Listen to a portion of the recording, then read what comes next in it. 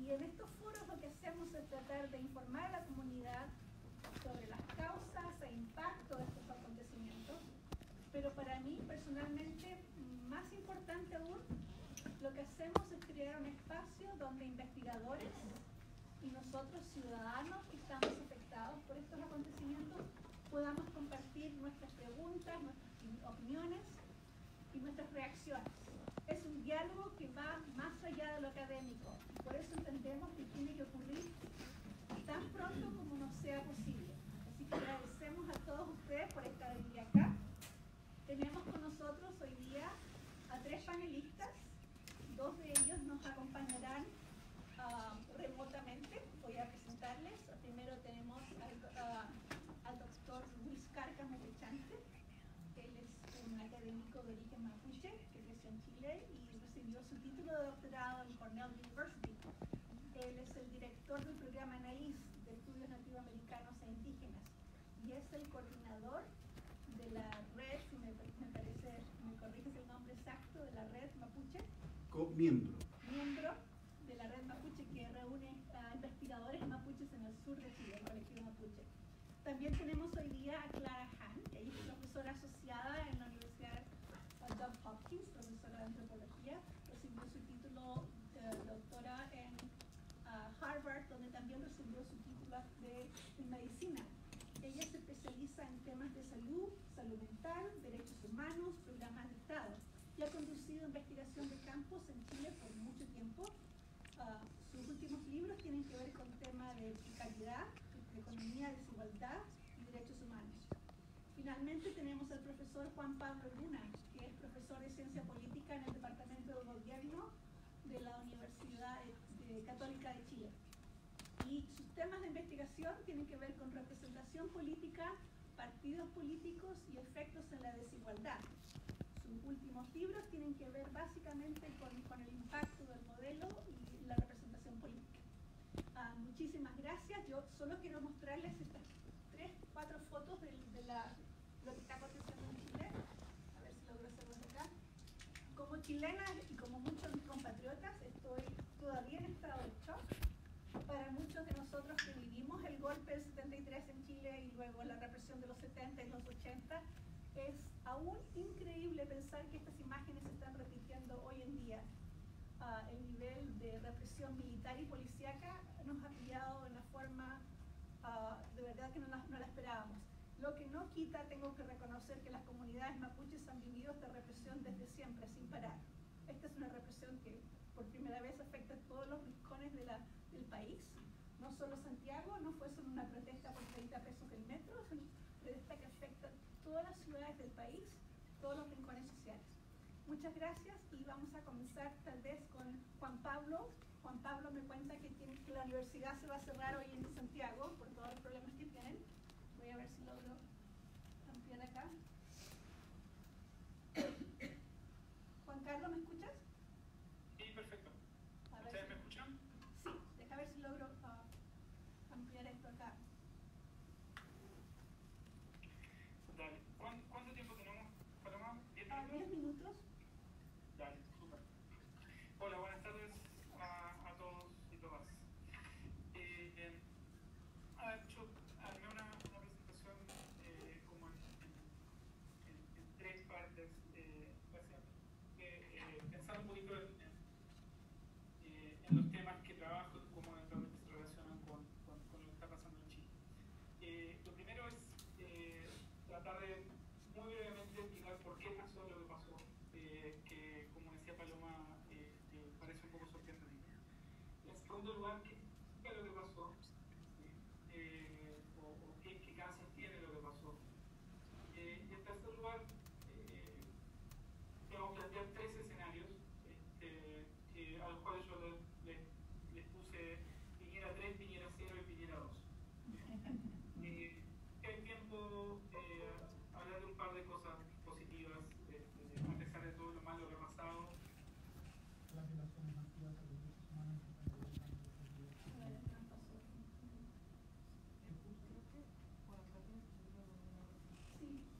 Yes, mm -hmm.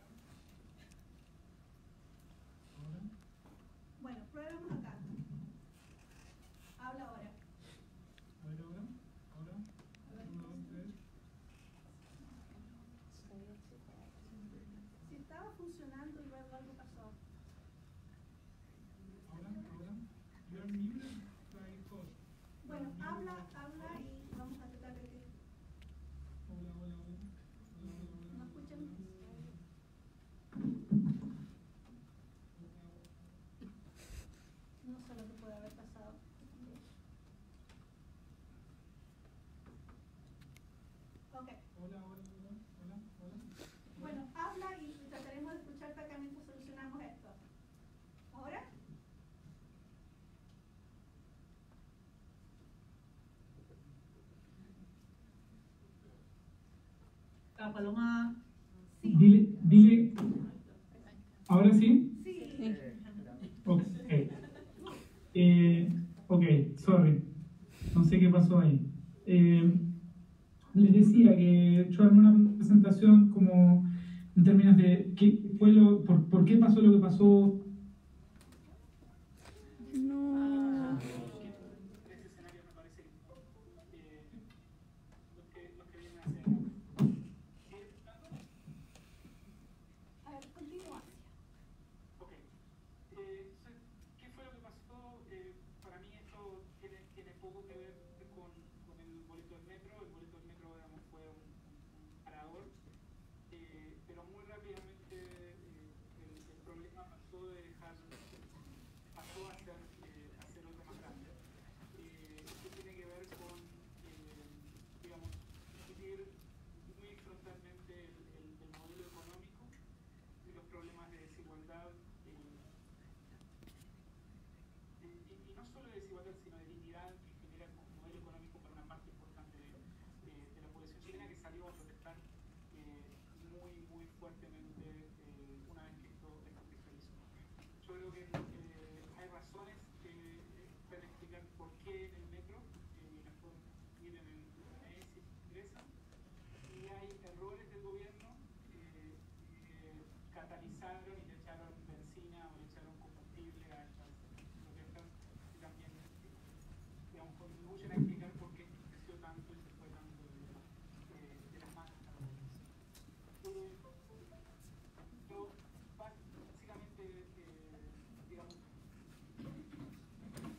Eh, eh, señalar que aquí hay una serie de problemas estructurales eh, que nunca habían generado este tipo de acción colectiva, que estaban latentes y por razones más bien random, este, y más bien no random, digamos, pero por razones específicas de la coyuntura de la semana pasada, esto eh, saturó en, en un movimiento enorme que, que ustedes han visto.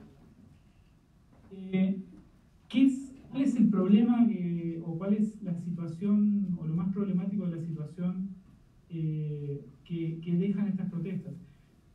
Esencialmente yo creo que lo que desnuda es eh, una desconexión brutal entre las élites políticas, sociales, económicas y eh, la población chilena.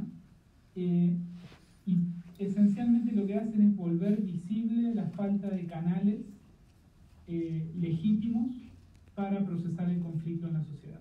Ese conflicto estaba latente, estaba, eh, eh, digamos, sordo, pero estaba presente, explotó en este, en este contexto y no hay canales institucionales para procesarlos. Esto quiere decir que eh, quienes tienen el poder en la sociedad, el poder institucional, ¿sí? no tienen la legitimidad y los que tienen la legitimidad y son capaces de eh, eh, movilizarse eh, están fuera de las esferas de poder social, político e institucional. ¿no? Eh, y rápidamente, digamos, lo que, lo, que ha pasado es que el gobierno ha intentado eh, reaccionar a, a- a este déficit y tratado de eh, volver la crisis a la normalidad y no ha podido.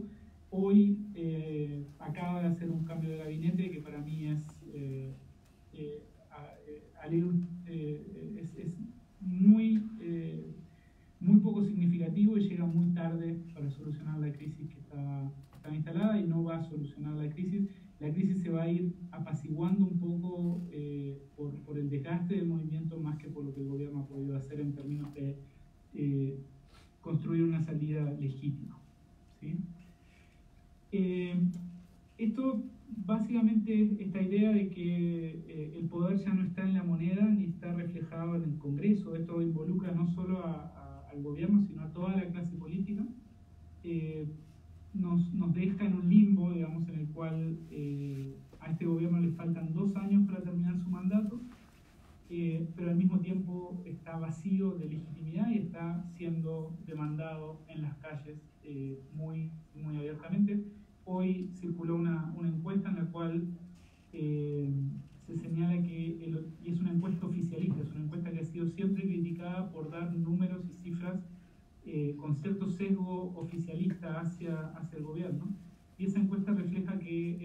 4% de los chilenos está de acuerdo con la movilización.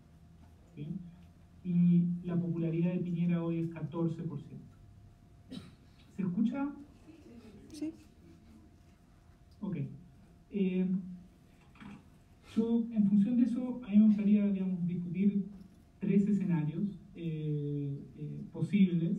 Eh, el primer escenario es Piñera 3, es básicamente pasa porque el gobierno entienda que su su gobierno terminó, eh, tal como fue eh, elegido hace dos años, y haga un cambio radical en términos de la gestión de políticas públicas, en términos de la gestión simbólica del gobierno, eh, y relance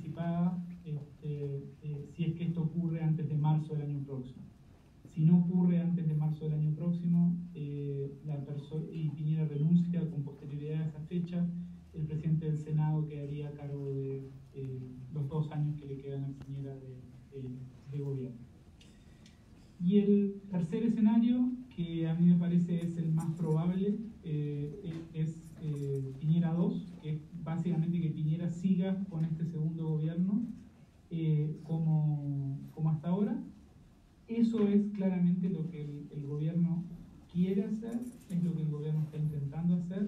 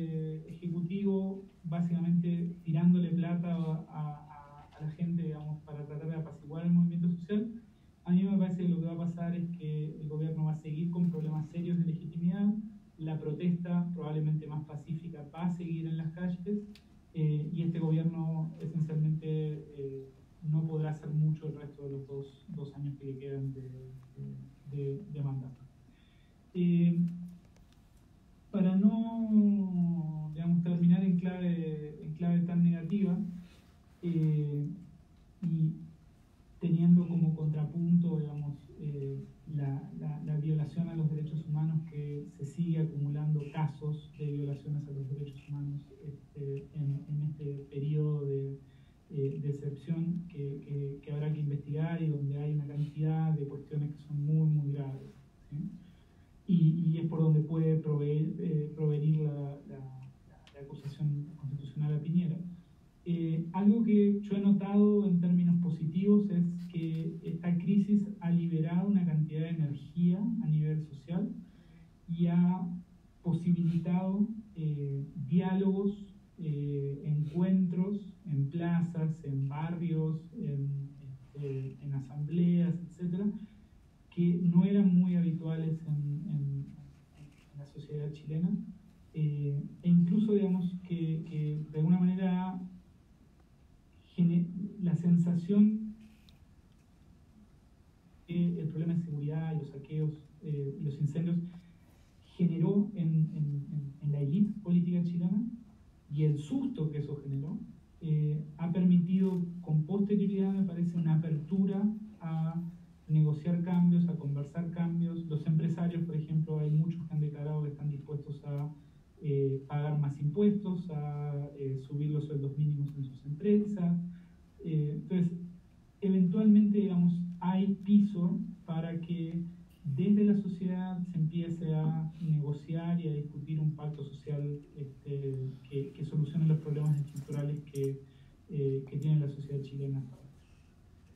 Eh, y, y, y, y, esencialmente la traba fundamental de eso es el sistema institucional y el sistema político que tiene el poder, tiene el poder institucional, pero no tiene la legitimidad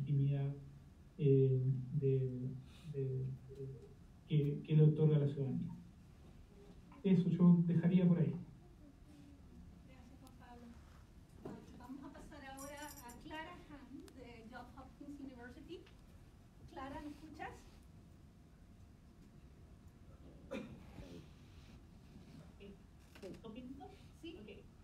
Okay.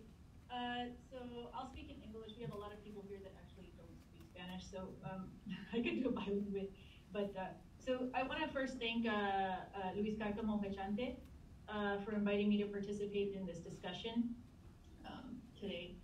Um, so I just want to, there's a couple of points here I want to get to um, in terms of how we might think about uh, this collective effervescence, if you will, emerging um, and uh, the state of emergency and the model of politics. So, so as we well know, uh, the massive protests uh, were sparked by an increase in the metro fare, right? Students' response to the increase uh, then was through like massive evasion of the of paying. Um, and uh, then there was an utterly inept and we might say disdainful response from government officials, such as the Minister of Labor, who recommended that people simply get up earlier uh, in order to reach their workplaces during the hours when the metro fare is, um, is lower. Finally, the military police's violent response to the students were widely circulated over um, social media, uh, which spurred further protests. And yet it is declared in a state of emergency on October 19th, which opened the floodgates for severe forms of police repression, including extrajudicial killings, police brutality, torture, and disappearances the police, the people responded by massive peaceful protests in which close to 2 million people participated.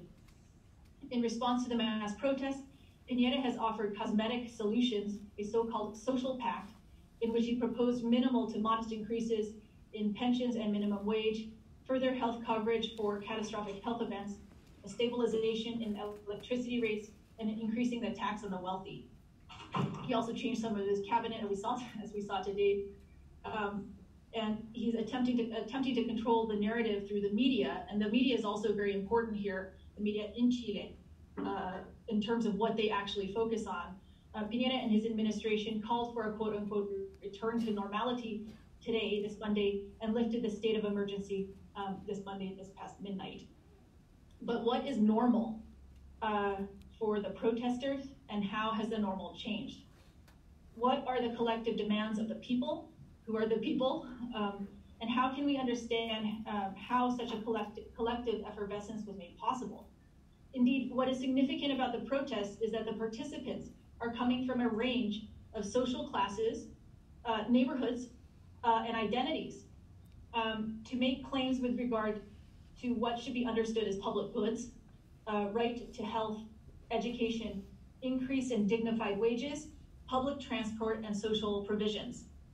I also wanted to point out Paloma's um, point here uh, in the beginning, where she actually, um, and I'll, I'll, return to this later, where she um, made the point that um, the Mapuche population, the, uh, you know, has been subject to essentially state of emergency in the long term.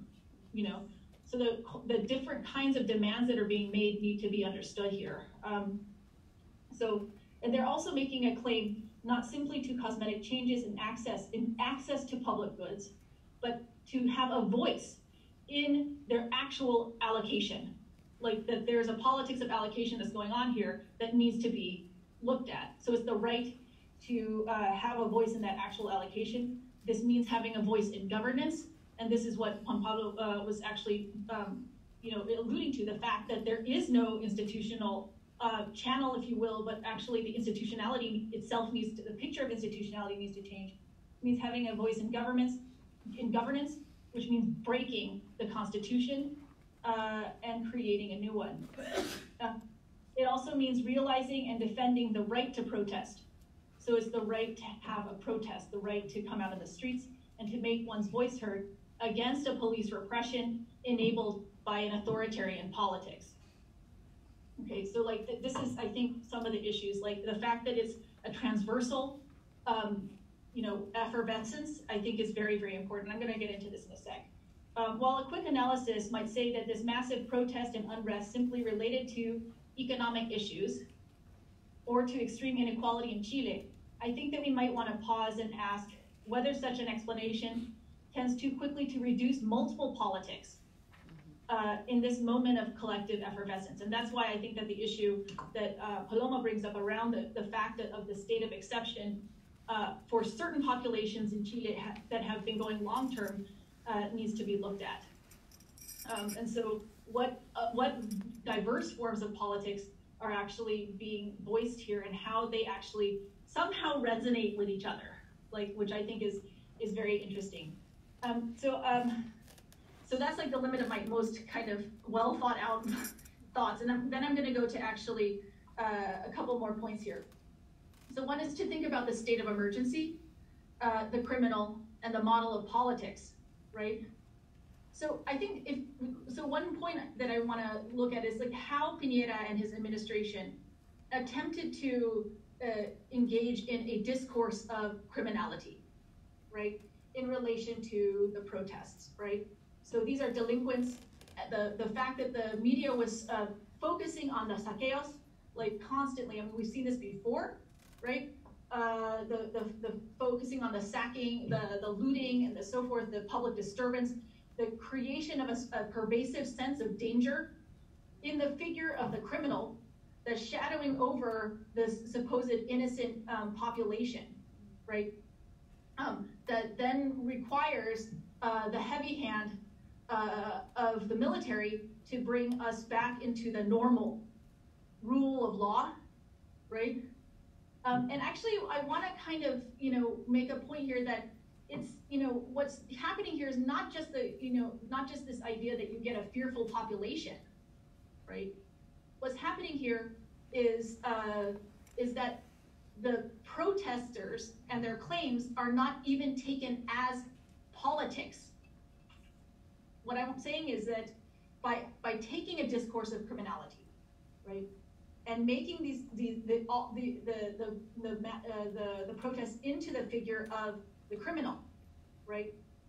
You actually are there. He, you know, interestingly enough, he's playing on a very, very old divide, uh, boundary between the political and the criminal, and that the criminal could not actually have a politics, right? So delegitimating within the frame, within a kind of dominant framework of politics, uh, who can be a political actor.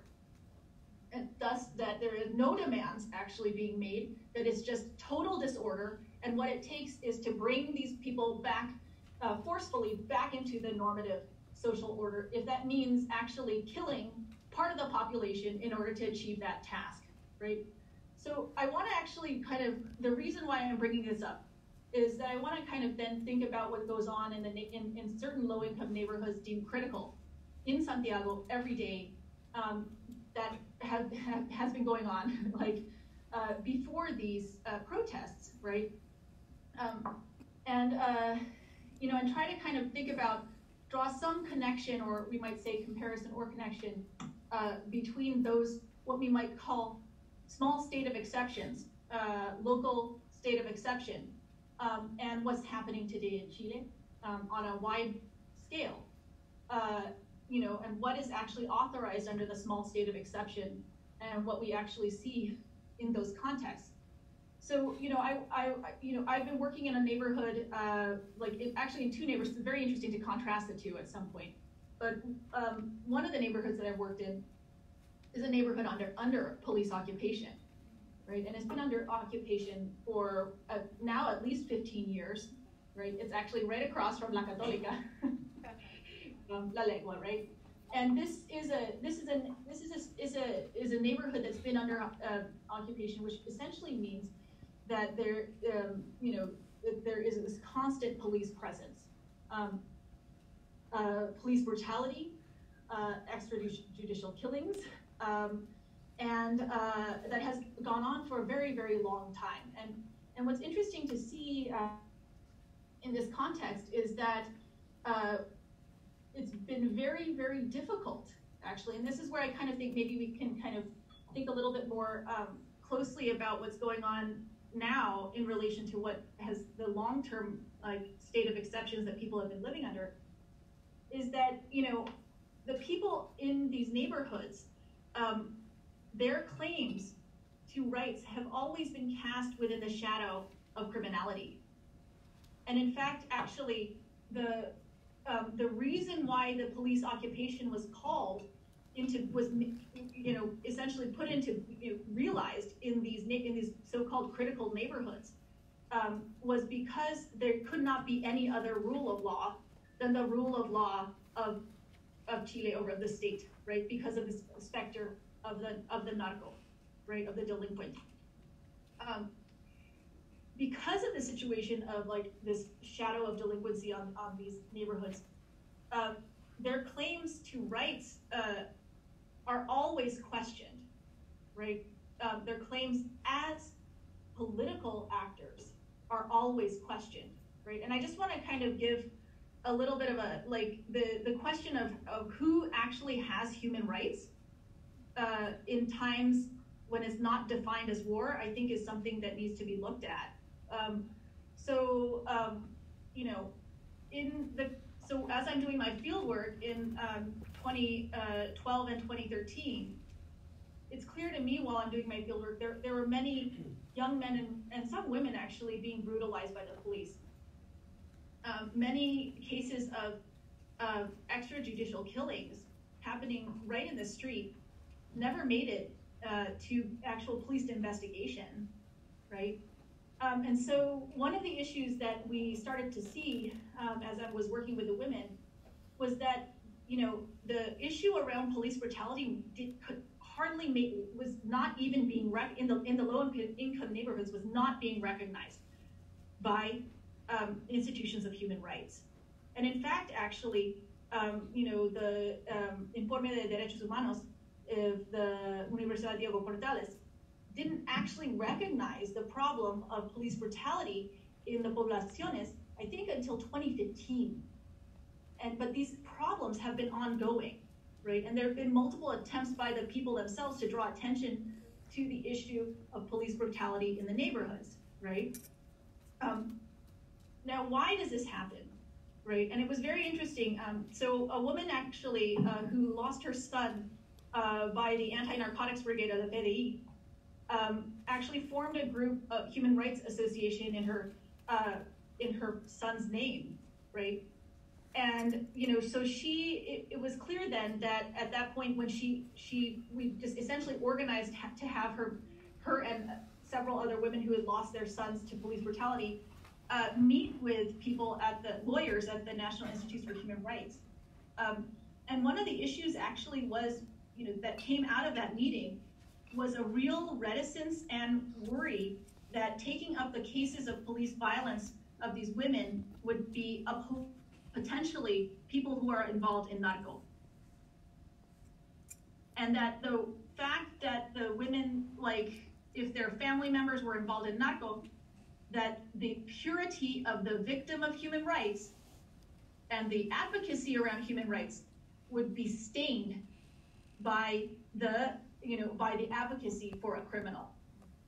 So they couldn't be actually taken as having an unquestioned violation of human rights, right? So I think that one of the issues is like when you um, you know look at like what happens in um, you know in, and, and so again it's like the, the issue is that they're what the kind of ways in which you know people actually survive you know in low income neighborhoods may involve the narco right uh, trade right that is considered illegal uh, but it may be one politics of life. Right? It's just not an authorized politics by the state, right? And it creates a kind, a form of provisioning uh, that is simply deemed as illegitimate by the state, but actually, you know, it may trade in forms of death, but so does the state, right? It, it allows for certain way of being to flourish too, right? So can that be understood as a model of politics and can people's claims to human rights be taken as claims to human rights without always being cast under the shadow of criminality, right? I think that one of the issues um, in the, the, the, question around um, collective effervescence, and which I think is really amazing because I've been texting and uh, my friends, uh, in, both in La Pincoya La Legua, is um, is that you know in the is is that here you know what you see is that people actually are very deeply involved in the mass protest today, where, for example, in the 2012, 2011, 12, and 13 protests, student protests, as we were watching the television of students get arrested and beaten by military police, like they would say, you know, oh, well, the National Institute uh, of Human Rights is protecting these students, but they never protect me, right? like this is what women were saying, right? They'd watch this on the television, like, oh, these kind of things happen to the students, and then and they immediately get attention, and yet we're being killed, and nobody cares to protect us, right? But the difference, what's what's striking today, um, is that um, is that the women who are under the condition of everyday form of, of a local state of exception feel somehow that the repression and brutality that they've faced uh, and the fact that they can't actually be deemed as political actors is somehow being resonated and reflected in the way in which uh, the Piñera government is treating everybody through the discourse of criminality, right? So in a way, it's that the very kind of criminal criminalizing state uh, actually itself creates certain kinds of transversal transverse politics uh, that are being allowed, uh, that are actually allowing for people in, for example, La Legua, to actually go out on the streets and feel like they're actually uh, one of, like we're one of them and we are together as an us, right? Which is also very interesting. Also, a small tiny note that actually under this con- condition of uh, state of exception uh, nationally, right? There's been so the police force is actually like actually limited. So they have not actually. So this is like the first week that they haven't had a, a, a, a micro uh, carabineros as a fixed point in their neighborhood in years because they need those police forces at sites of active protest. So they've actually said that this is the most peaceful time they've ever had in the na- in the neighborhood. So, uh, so it's this odd kind of thing where they're seeing this on social media. They're going out uh, to Plaza Italia participating in the protests, uh, and yet in their neighborhood, it's like the most calm uh, that, that, it has been in years. Um, so, so, so I think in some ways, like trying to kind of just, I, I want to kind of finish now, actually. Uh, and so I, I, I want to actually suggest that the collective effervescence here may kind of help us widen the framework of politics, uh, uh, our framework of politics, both in, both in Chile and, and elsewhere, right?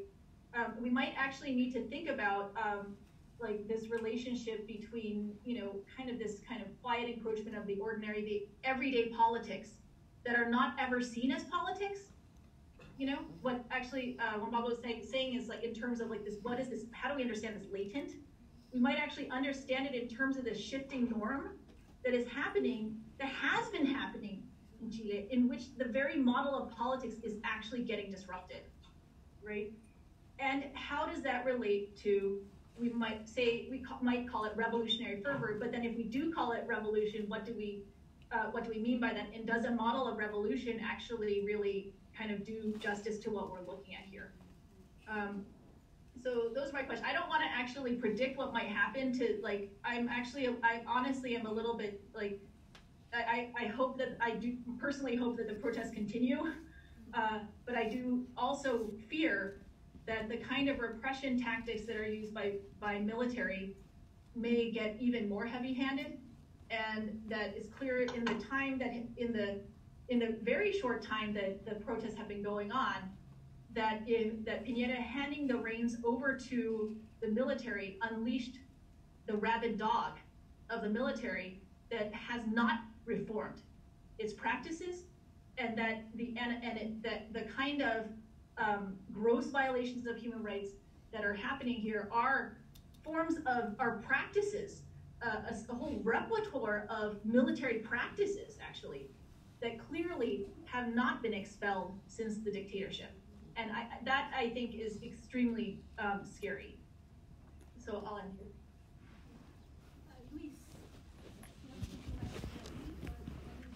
Sí, eh, buenas tardes, eh, Marimari Compuche, eh, good afternoon. Eh, no sé si Clara y Juan Pablo me escuchan. ¿Me escuchan? ¿Me escuchan bien? Sí, uh, sí te escucho, pero un poco. Con, ¿En qué parte me puedo colocar para que me escuchen mejor? Ahí. Se, se escucha un poquito bajo. yeah, un poquito bajo. el micrófono, Luis. Ah, el micrófono. Ya, no me van a ver, pero me van a escuchar. Okay. okay. Eh, buenas tardes, eh, Marimari Copuche, eh, good afternoon. Eh, Se cayó. bueno, yo creo que eh, para muchas y muchas personas en Chile, y que provenimos de Chile, eh, estos días y estas semanas han sido eh, políticamente eh, complejas, pero también emocionalmente muy complejas. Porque de alguna manera, habiendo cosas extraordinariamente nuevas en este escenario que, que comienza ahora a mitad de octubre de este año 2019, también hay algunas cosas eh, que tienen que ver con cierta re- reiteración de una eh, historia eh, política, social y policial y militar en Chile.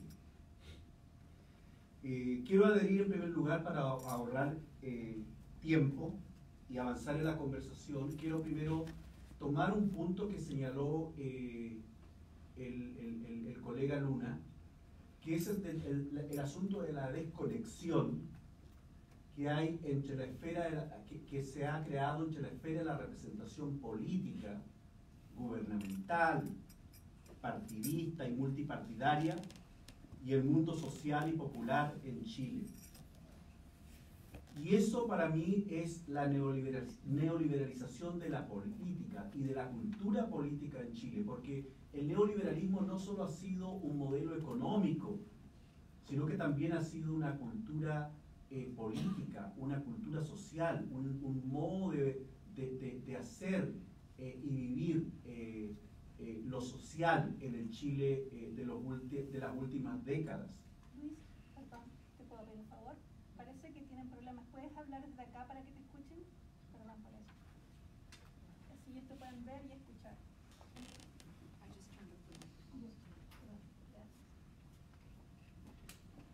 ¿Me están escuchando? ¿Me están escuchando y viendo? ¿Sí? Ahora sí es mucho mejor. Ah, ok. Eh, no, entonces yo quería tomar el asunto que señaló el colega Luna respecto de la desconexión entre la esfera de la representación política y el mundo social y popular en el contexto neo- neoliberal en Chile y la neoliberalización, no solo como un fenómeno eh, económico, sino también un fenómeno que ha, impactado la cultura pública, la cultura política eh, en- en el Chile de las últimas décadas. Eh, yo recuerdo, y quizá el colega Luna reconoce esta, esta narrativa de la sociología política en Chile, que, eh, por ejemplo, el sociólogo Manuel Antonio Garretón, muy cercano a los círculos de la inteligencia de la nueva mayoría, se preguntaba tras la eh, previa elección presidencial, eh, Bachelet contra Piñera, el asunto de la desconexión que tenía la nueva mayoría en relación al mundo social y popular. Y es esa misma pregunta que hoy día se está haciendo el piñerismo y la alianza política, en la coalición política que lo sustenta desde la derecha en Chile. Entonces yo creo que la cuestión de la desconexión, y ahí lo quiero dejar planteado, no es un asunto solamente del piñerismo y la coalición política que hoy lo sustenta en la moneda en Chile, sino es parte de la, era, de la larga era neoliberal que hemos estado viviendo y que también es un asunto que ha remecido la votación y el apoyo y la resonancia social de, eh, los, de, las élites políticas de la nueva mayoría.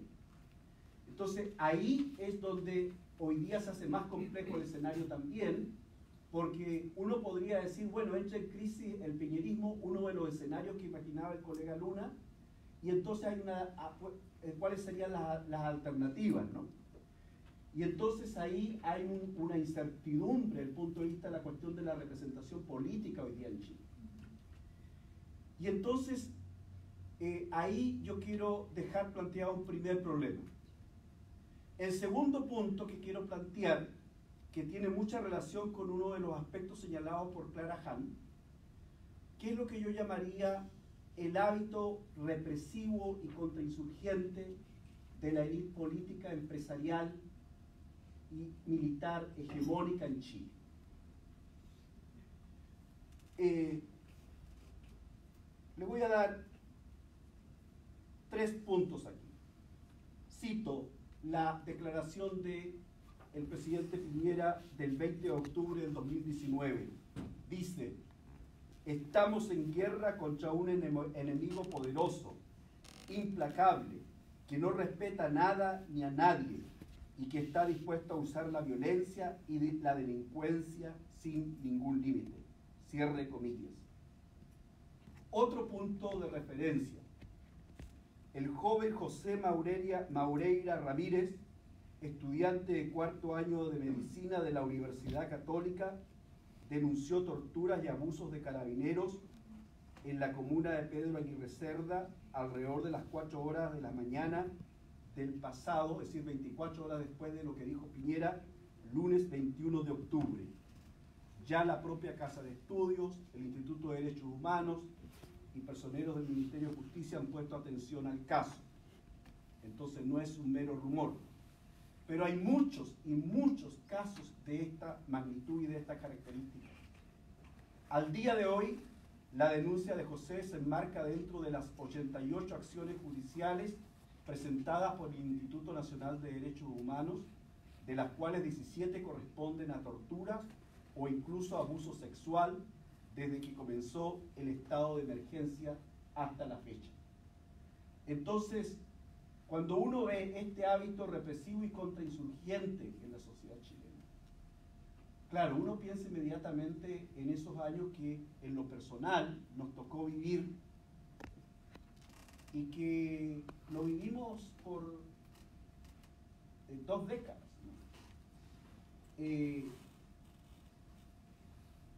y ahí uno ve un legado pinochetista, un legado eh, no solo pinochetista, sino de lo que incluso está hoy día dentro de la institucionalidad misma, que es válida en la, comillas, ley en Chile, que es la constitución que se estableció en 1980, que tiene mucho de eh, una inspiración contrainsurgente y represiva. Eh, y tiene muchos atajos institucionales y constitucionales para que procesos de cambios que atenten contra el carácter mismo del modelo neoliberal queden atrapados o a medio camino y que es lo que, lo que ha pasado a los gobiernos pasados de la nueva mayoría, especialmente a los sectores más reformistas de ese conglomerado político, porque se han visto entrampados, encerrados, amarrados en la maramaña de la llamada institucionalidad, ¿no? que se estableció a partir de la constitución vigente hoy día en Chile. Ahora, en este escenario, y volviendo a la cuestión de los escenarios, y aquí tal vez por la memoria política, personal y colectiva que uno tiene, una de las cosas que me parecen eh, tan preocupantes como el hábito represivo y contrainsurgente es ese otro hábito que se instaló en el Chile neoliberal, que es el hábito del pacto político social.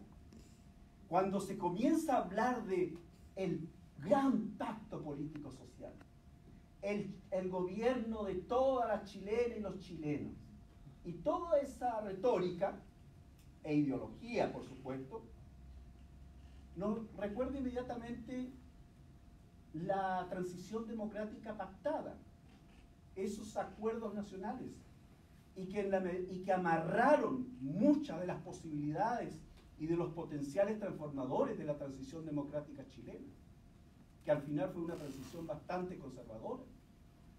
Entonces, cuando uno escucha hablar de esta idea de establecer pactos en Chile, eso tiene una resonancia eh, compleja, preocupante, porque uno empieza a pensar cómo se van a ir amarrando eh, acuerdos que al final van a volver a mediar, van a volver a postergar, van a volver a diluir las expectativas de ese extraordinario mundo social y popular en protesta hoy día.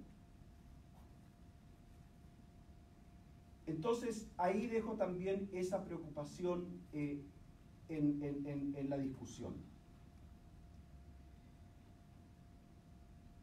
Quiero eh, solamente marcar lo que también el colega Luna y la colega Han han eh, señalado, la efervescencia social, esta efervescencia colectiva que hay hoy día.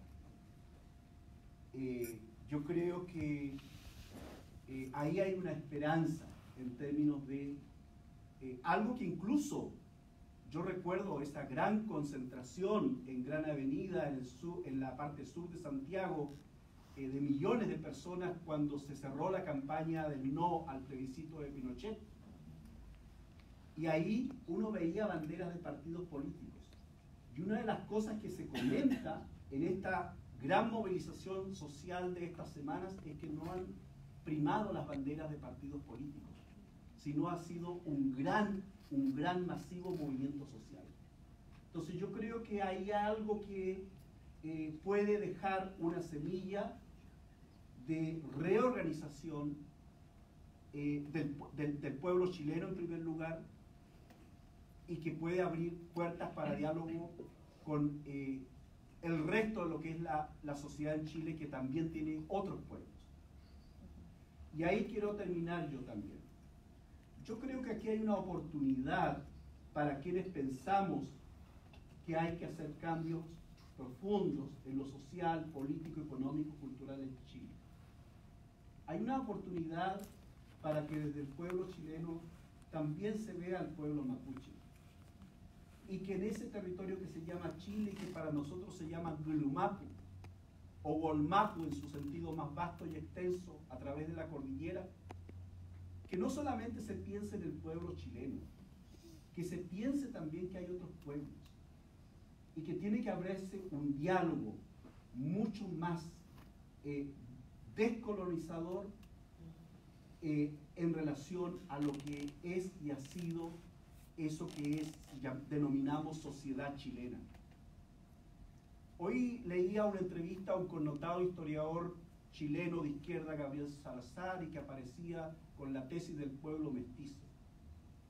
Entonces, son nuevas fórmulas para volver a hablar de una idea de pueblo monocefálico, uninacional, patriarcal, homogeneizador.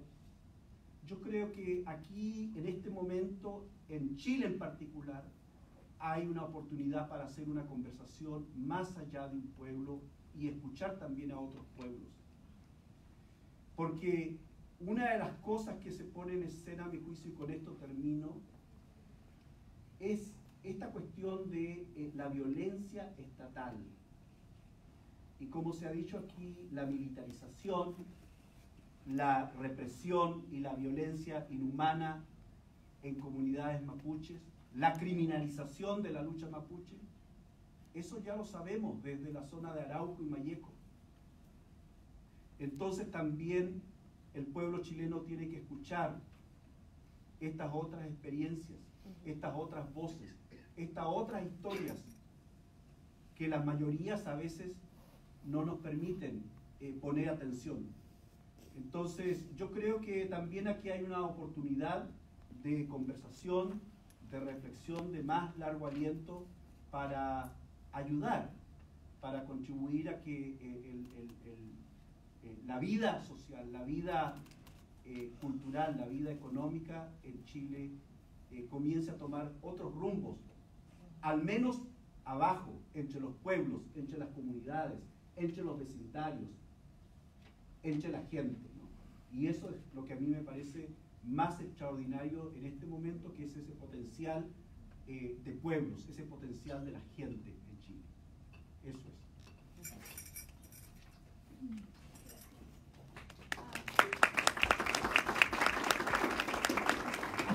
Pablo, Clara, ¿escuchan? ustedes no han podido ver, pero la sala ha estado repleta. No, les puedo dar vuelta computador. Ah, voy a abrir para preguntas y respuestas. Yo sé que hay muchas acá. Pero como moderadora quiero partir con mi primera pregunta. La verdad, para ser moderadora hay que ser automoderada y no sé si me va a resultar acá. mi pregunta es para Juan Pablo. ¿Se escucha Juan Pablo? Perfecto. se ha escuchado y se ha celebrado mucho que las protestas han sido transversales y apolíticas. Se ha usado esta palabra apolítica. Y es verdad que las banderas de los partidos políticos han brillado por su ausencia, han sido reemplazadas por banderas de las barras bravas de fútbol y por banderas principalmente mapuches, lo que nunca se haya visto el número de banderas mapuches en, en las protestas. Pero sin embargo, la gente está criticando el modelo neoliberal. Y en el centro del modelo liberal son medidas que vienen de la derecha, que la izquierda, y concuerdo con Luis, no pudo, no supo modificar, correcto, pero estamos hablando en esencia políticas de derecha, la privatización de la educación, AFP, la privatización de la salud, la constitución, modelo heredado de la dictadura. Juan Pablo, ¿qué dices tú cuando te dicen la consigna no es 30 pesos, es 30 años? ¿Qué te parece? Ok, eh, mira, yo eh, creo que, digamos, lo que hay que tratar de... ¿Se escucha bien o no?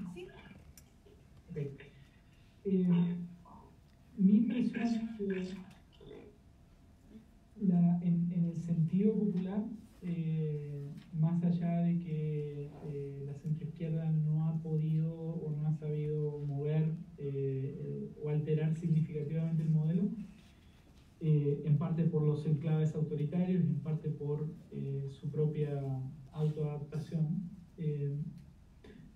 Hoy día en Chile, eh, a mí me parece que para la gente la política institucional está toda metida en el barro.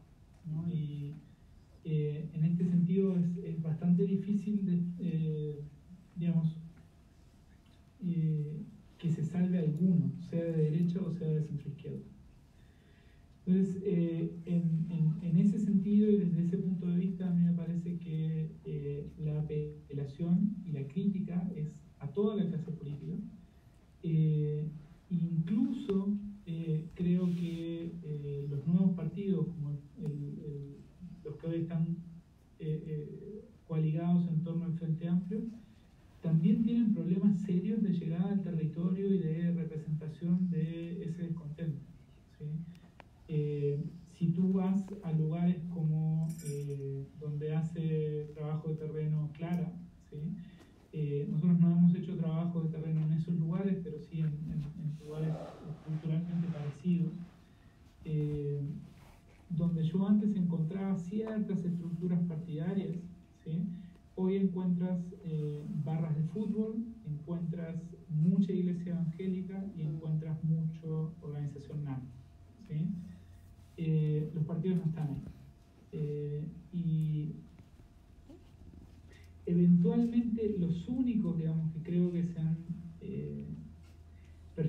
poco mejor en, en- en el contexto de este conflicto son los alcaldes, porque tienen contacto con realidades locales. ¿sí?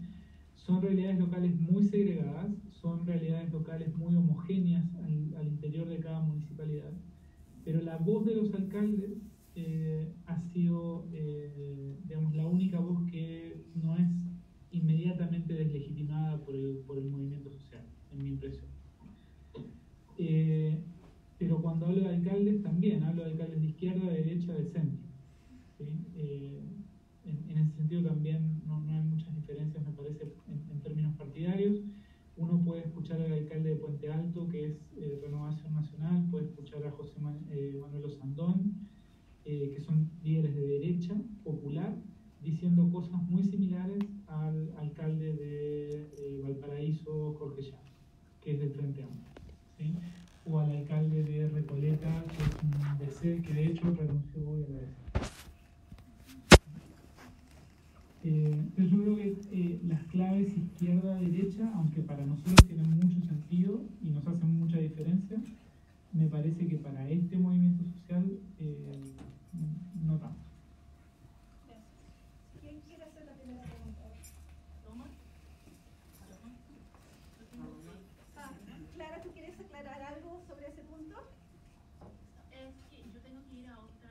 Ah, sí, sí, no hay problema. Muchas gracias por acompañarnos, Clara. Gracias. Saludos. Saludos. Chao. Em, bueno, primero quiero agradecer este espacio, como, dijo Luis. eh, es difícil, eh, claro, ser chilena y vivir esta situación desde acá, eh, sobre todo como alguien que participó de la revolución estudiantil, que ha estado... Eh, no se escucha muy bien. ¿Puedes hablar de acá? Sí, dame un segundo, Juan Pablo. Sí. Ya. No, que agradezco esta situación, o, eh, o sea, este encuentro de poder como conversar y sentarse a reflexionar sobre estos temas, que como alguien que, claro, que es de Chile, que estuvo parte de, de la revolución estudiantil y de otras organizaciones políticas, eh, claro, se agradece poder tener este espacio para traer también información sobre qué está pasando y así también eh, evitar que esto, que esto sea coaptado y que termine ahí con estas medidas parches, como decimos nosotros, de- del gobierno de Piñera. Y, y sobre todo recalcar la, la, la constante violación a los derechos humanos que se ha producido y que las cifras también han sido las cifras oficiales, no son las cifras que realmente equivalen. ¿no? Como, no sé, en un tiempo se estuvo reconociendo 18 muertos, pero en realidad se estima que son alrededor de 50, si es que no más. Eh, y hablaba con una compañera que es parte del, del- que está trabajando, con, colaborando con el Institu- Instituto Nacional de Derechos Humanos, que ella es médica y que, claro, saca- sacaban la cuenta ellos de lo que ellos experienciaban, que si sa- sacáramos la cuenta en total de la cantidad de violaciones a los derechos humanos que se ha producido entre esta semana, si la lleváramos a la, cantidad de días que duró la dictadura, tendríamos incluso más violaciones a los derechos humanos. Entonces, esto que pase en el siglo XXI, o sea, es completamente inaceptable. Eh, y claro, eh, también eh, eh, evidenciar también que esto también es una crisis del neoliberalismo y, y de, de su logo mayor, que también es el capitalismo. Como mucho se habla de la crisis del socialismo en tal o cual país, la crisis de- del- del socialismo, del comunismo, que es- están presentes, pero es poco se habla de, sobre todo en lugares como Chile, de la crisis del neoliberalismo y el capitalismo, que también tiene que ver como, cómo se, con, con cosas que están pasando en otros lugares, cosas que están pasando en Ecuador, lo- recientemente en Colombia, en Brasil, en Haití, ahora últimamente en Líbano. Entonces tiene que ver todos con estas, con estas crisis también que ha despertado mucha, eh, muchos de estos sujetos políticos. Este movimiento en Chile ha politizado también una población que se, que se mantenía también más, más tranquila, más sumisa y que también tenía que ver con lo que decía la doctora mm, Han, con la, con que también se ha, criminalizado toda la vida, por lo menos en Chile, los sujetos políticos y así de esa forma también tomando sus demandas como algo en las sombras, como algo no válido. Durante el movimiento estudiantil también se usó la ley antiterrorista que se usa con, con, con activistas mapuches politizados, también se usó contra estudiantes la ley antiterrorista, que fue creada en dictadura también para aquellos que se oponían al, al- al régimen de Pinochet.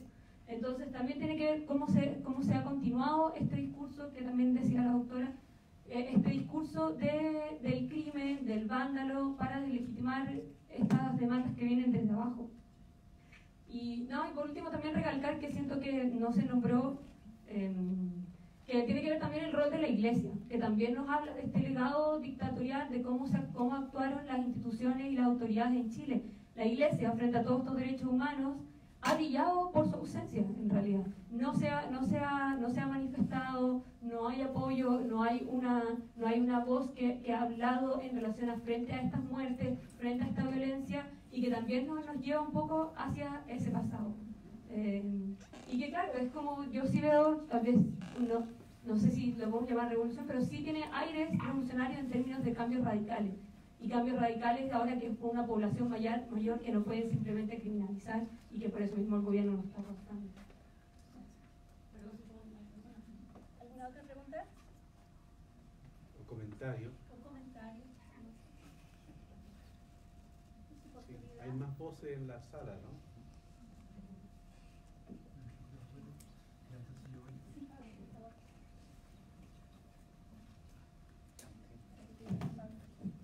Hola, Juan Pablo. Hola. Pablo Villarén. Eh, bueno, eh, recalcar también la importancia de la participación en esta movilización, por un lado, de la soli- solidaridad que ha tenido la gente, pero también las regiones, porque aquí se ha, se ha evocado harto a Santiago, pero también hay regiones que desde el norte al sur de Chile están movilizadas y están participando activamente en todo este proceso social, político y cultural. Entonces, en ese sentido, la importancia de las regiones también, porque porque también viene a derribar otro, otro eje anclado en Chile, que es la centralización del país. O sea, todo se toma en Santiago. Entonces también hoy día hay esa efervescencia también, y que está en las regiones, pero también en las pequeñas comunas y también en sectores rurales. De lo personal, varias, eh, tengo fa- familiares que viven en el sector rural y ellos y ellas también están participando en asambleas, en trabús, le decimos nosotros en Mapudungun, y se está dando esta conversación política. Entonces, en ese sentido, es algo transversal que va mucho más allá de lo que sucede en Santiago, por un lado. Y segundo, bueno, el asunto de la dictadura, ¿no? Está presente. O sea, el hecho de tener a los militares en la calle ya te dice mucho de la noción política que tiene el gobierno y el Estado y el sector político también para abordar eh, las situaciones que de una u otra forma son legítimas. O sea, aquí estas demandas son legítimas por donde se les mire. Y el otro tema, el tema del, de la constitución. O sea, hay muchas voces hoy día que están hablando de un cambio de constitución. ¿Qué mecanismo se está utilizando o se pretende utilizar? Está en discusión todavía. Pero sí hay iniciativas de cabildos y de conversaciones que se están dando para abordar este asunto como cambio de fondo. ¿no? Porque aquí la discusión no es solamente si es que cambia o no cambia el ministerio, ¿no? o sea, ministros, sino también hay una cuestión, tiene que ser un cambio radical. Eso, como comentario. ¿Alguien más? O ya, entonces le damos las gracias a todos por haber acompañado. Muchas gracias Juan Pablo, sé que tienes que salirte pronto, están evacuando a la universidad esta tarde. Te lo agradecemos una vez más. No, gracias a ustedes.